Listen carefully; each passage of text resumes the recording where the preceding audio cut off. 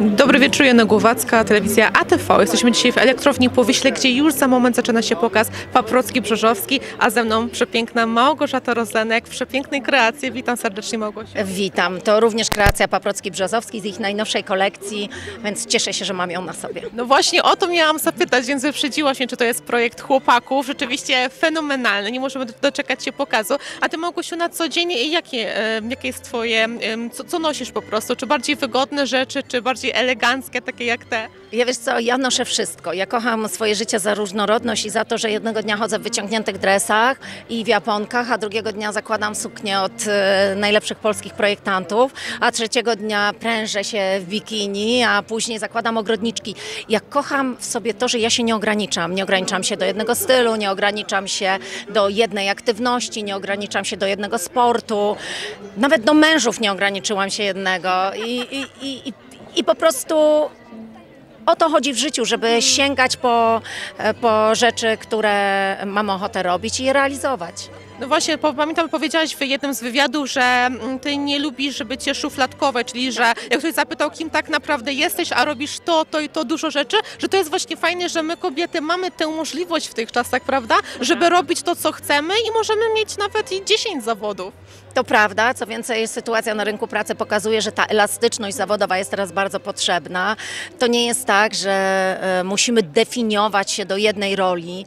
To nie jest tak, że jeżeli mamy ochotę, to nie powinnyśmy pewnych rzeczy. W ogóle nie lubię tego sformułowania. I e, od naszej odwagi, od, naszego, od naszej energii, od naszej chęci zależy to, co będziemy w życiu robić, po jakie rzeczy będziemy sięgać.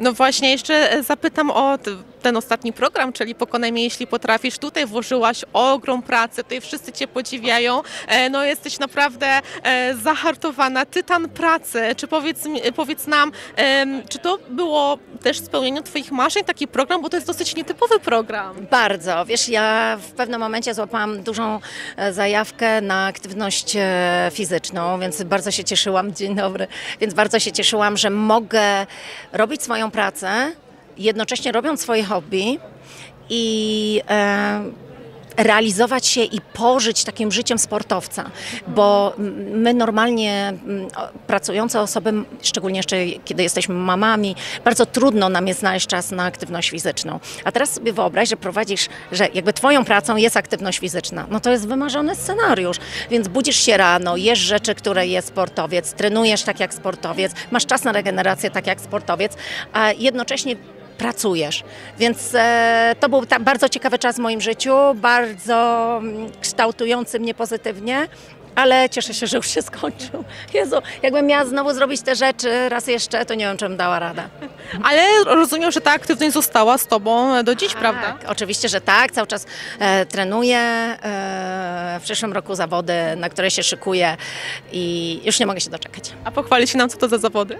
No wiesz co, triatlonowe, bo to jest taka moja teraz e, zajawka. Jeszcze nie powiem gdzie, bo jeszcze sama nie wiem, gdzie tak naprawdę wystartuję, ale na pewno to jest przyszły rok. Wspaniale, to życzymy powodzenia. Na koniec Małgosiu powiedz nam, bo Ty właśnie wspierasz kobiety bardzo, w ogóle jesteś taką ikoną stylu, a zwłaszcza jeżeli chodzi o e, kobiety właśnie in vitro, bo teraz mamy czasy, gdzie no ciężko jest, to też jest temat na czasie, ale to jest wspaniałe, że Ty mówisz o tym głośno, że jest, jest teraz e, ta możliwość i właśnie jak się do tego odnosisz. Znaczy powiem więcej, ja nie tylko mówię, ale też stworzyliśmy razem ze środowiskami tą możliwość, powróciła refundacja i też, co jest najważniejsze, e, bardzo szybko zostały wprowadzone e, zmiany dzięki elastyczności komunikacji z Ministerstwem Zdrowia. Zmiany, które bardzo szybko okazały się problemem, które nie zostały w e, nowym projekcie uchwalone, ale dzięki temu, że jest ten dialog, te zmiany zostały wprowadzone dokładnie tydzień temu, czyli naprawdę w ekspresowym tempie, więc cieszę się bardzo, ale kolejne projekty teraz przed nami dotyczące hejtu, mowy nienawiści, próby ułożenia tego w prawne ramy. Działamy. Super, to jest bardzo potrzebne, więc cieszymy się, że osoby publiczne mogą wykorzystywać właśnie ten fakt, żeby e, wspierać tak ważne akcje. Małgosiu, To jest jeszcze najlepsze, że tak jak przy in vitro nikt nie mógł mi odmówić zaangażowania i merytorycznego przygotowania. Dokładnie tak samo jeśli chodzi o hejt, też mi nikt tego nie będzie mógł odmówić, więc e, odpowiednia osoba na odpowiednim miejscu. tak jest, serdecznie gratuluję, Dziękuję życzymy bardzo. Małgosiu samych sukcesów i dziękujemy za rozmowę. Ja również bardzo dziękuję i pozdrawiam.